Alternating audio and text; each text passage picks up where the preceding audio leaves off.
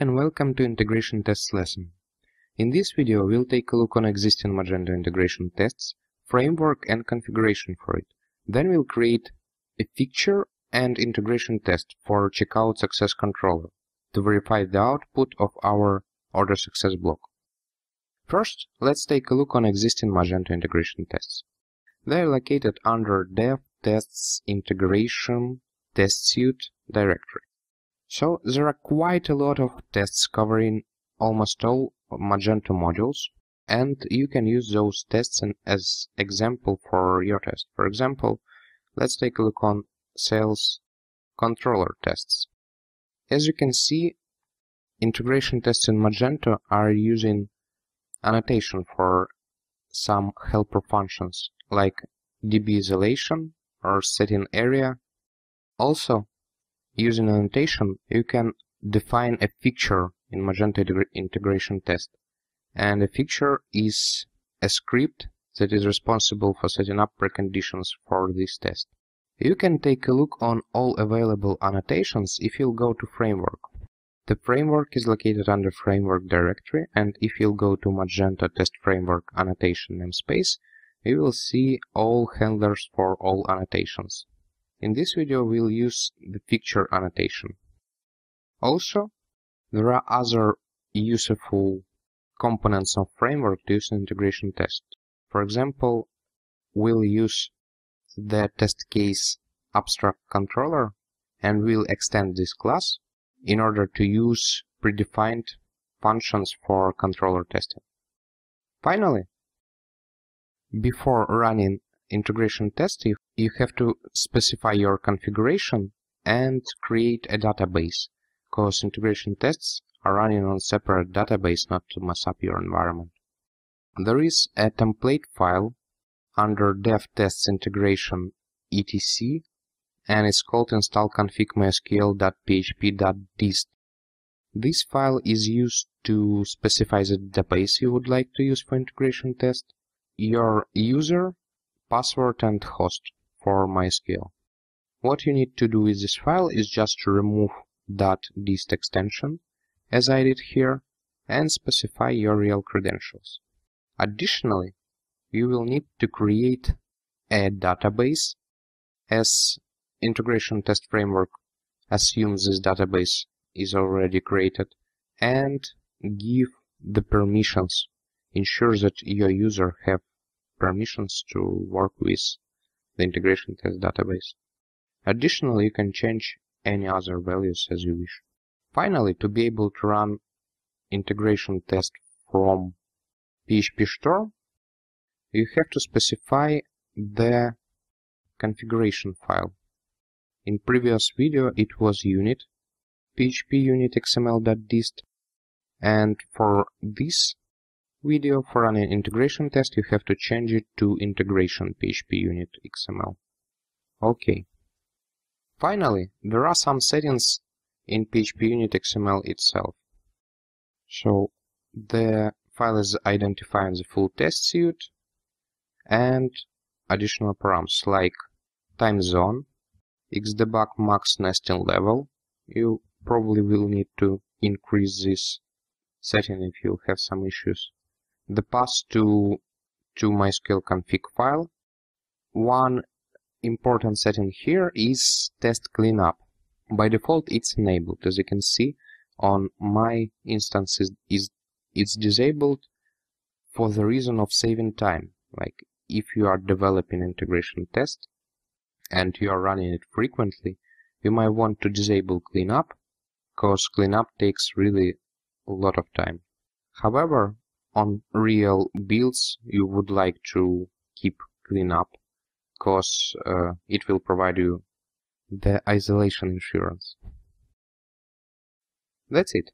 Now let's once again take a look on the functionality we'd like to cover with integration test.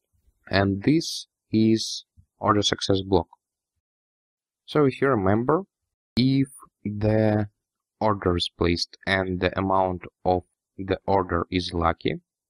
So sum of digits, integer and decimal part of grand total of an order is the same. the customer will see your order is lucky message. That's what we are going to test. The correct place for integration tests is as per Magento approach. It's dev tests integration test suite directory. As you can see, all tests are here. However, we would like to keep all our tests inside the module so that we can keep it in separate repository, for example. So for this purpose, I have created an integration directory under test directory in the root of our module, and I have already created a fixture. So default path for fixture is it can be any unique path, but to be consistent with other modules, it will be underscore files and the name of the fixture. My name is Lucky Order. Here I am reusing existing fixtures, so I have specified a path to the actual integration test suite, and I am using default rollback from Magento Sales model that is just removing all products and all orders from database if they're existing. They're not to uh, not, not to interact with our test and Magento catalog product simple fixtures that will create a simple product will include in the order. Then just setting up billing, shipping address, payment, like all order dependencies. Finally, uh, adding a product to an order. And here I am setting all required values for the order, including the lucky amount. Like we we should take a look on this base grand total so that we can see the message on success page. Finally, I am doing a bit of uh, hacks here, retrieving session from object manager and setting the order and quote IDs. For quote IDs, in this case, I'm using just any dummy data that will, will be assumed as true on in success controller verification to make sure that we will not be redirected to cart page and we'll see the success message. So we'll use this fixture in in the uh, test that we'll create right now. And let's name this test uh, the same as unit test for our block, like order success test.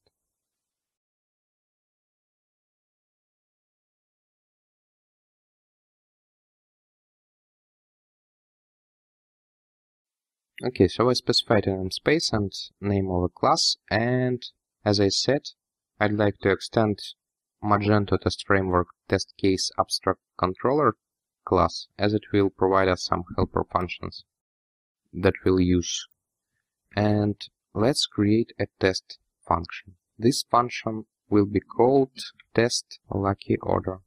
And the first thing we'd like to do in the test is just to dispatch the checkout controller. So it's checkout, one page, success. And on the page rendered by this controller, we are expecting to see your order is lucky message. So we will call assert contains function of PHP unit. Your order is lucky. And as an actual result, we'll call this get response get body. Okay, finally. Finally, to be able to open this page without redirect to shopping cart and to see the success message, we have to trigger the fixture that we prepared.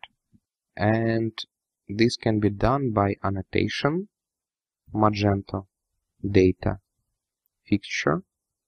Uh, I could specify the file path here as it is specified in all other Magento tests. However, I cannot do it from the location of my module. The file path can be specified only if you your test is under test suite, because the test suite directory is currently hard-coded for for that annotation handler.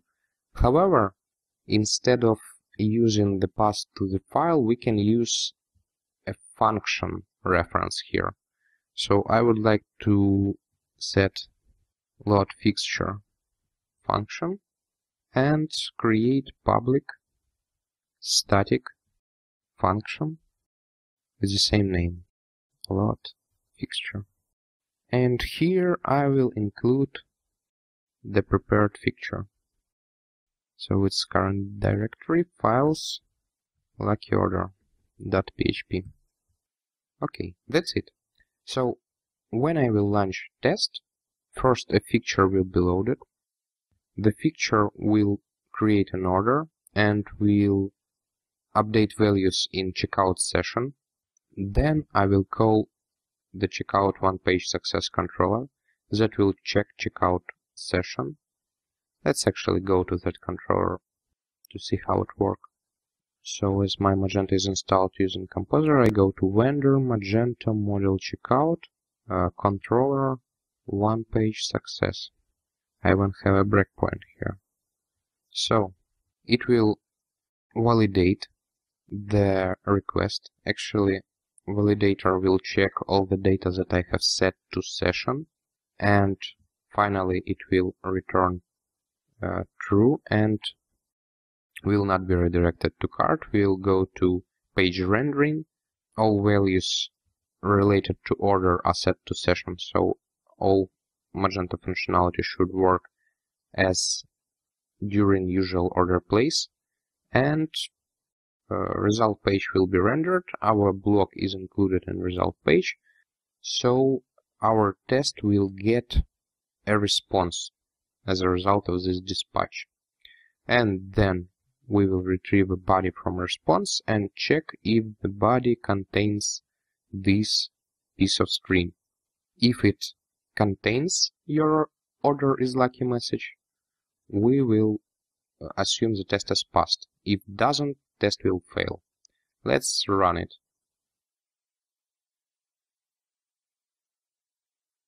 So our test passed and and this is for integration test. In the next video, we'll go further and create some web API tests. See you!